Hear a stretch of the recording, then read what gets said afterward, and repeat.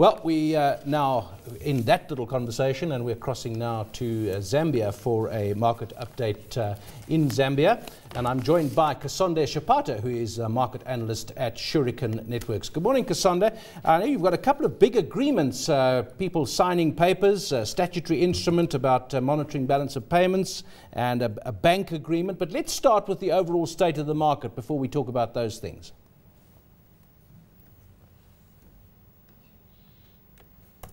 Doesn't sound as if Kasonde has uh, heard me there.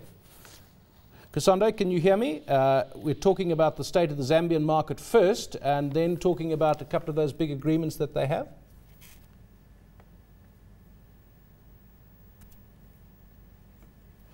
Because um, the all share index was up like uh, 14 basis point, which was very good, and that was on a short long term. On a short term, and on a longer term, the market too is being uh, positive again. So uh, so far, so far so good. Everything has been going up.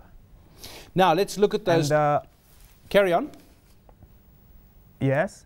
Uh, on those agreements, the biggest one that we've all been waiting for and good enough it has come through was the statutory uh, agreement that the minister signed. That, for us, it's been long overdue because, um, as usual, it always have something for everybody. There are those who are for it and those who are against it. For those who are against it, I'm sure they're scared about the control that is established. Well, I think just, just for pause for a moment uh, and give us the context for it, uh, what this agreement is for, what it's trying to do. Okay.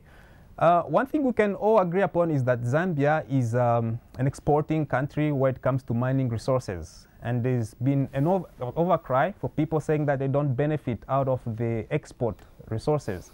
So what the government was trying to do is what could be the best way to control those uh, export so that everybody can benefit out of it.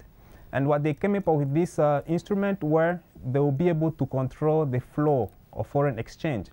Now, those who are against it, I guess it's because of that control that will be established, because uh, you have to report everything when it comes to foreign exchange or forex.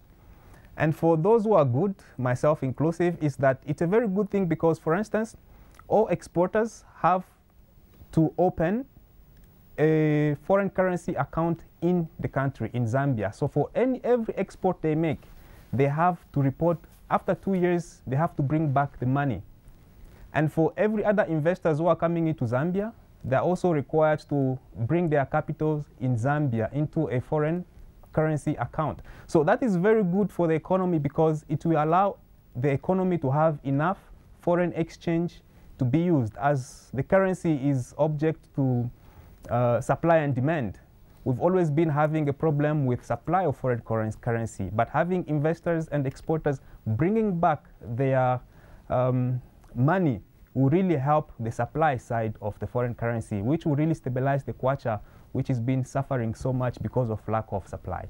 And they seem to be at pains, Kasonde, to say this is not about exchange controls. It's about transparency, accountability. It's about seeing what's happening as opposed to trying to control uh, uh, currency flows.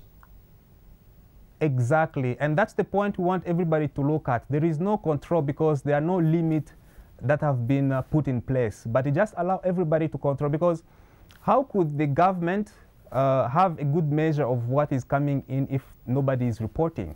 So the only problem those who are against have is that uh, reporting issue. But it's all about monitoring. That's the all problem that the government is trying to establish. Okay. But as I said, economically, the country will really benefit out of it because we have enough supply of foreign currency coming into the country. Well, that sounds like good news then. And Kasonde, the other agreement that's uh, been mm -hmm. signed, the UK Development Finance Institution CDC Group PLC with Standard Chartered Bank, yeah. a $100 million risk participation agreement. What's that about? Okay, that again we can say we're a little bit skeptical. It's a very good news coming in, but we're a little bit skeptical because that money, the 100 million, will be shared among 19 countries. It will be allocated to those 19 countries. Now, Zambia is part of them. How much will be allocated to Zambia? We don't know yet. And even when it's allocated to Zambia, they have to share.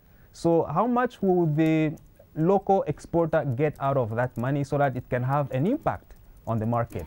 So those are details we're still looking forward so that we can be happy to appreciate such kind of signing. So it's good, it makes, to me, a very good headline signing as long as they haven't given us the details of how people here in Zambia will benefit from such a signing.